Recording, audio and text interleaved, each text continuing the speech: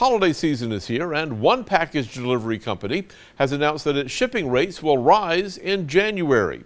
FedEx shipping prices will increase by an average of 4.9% because of more online shopping, adding to the number of packages being shipped. The higher fuel prices mixed in with a shortage of truck drivers has also played a factor in the shipping rate increase.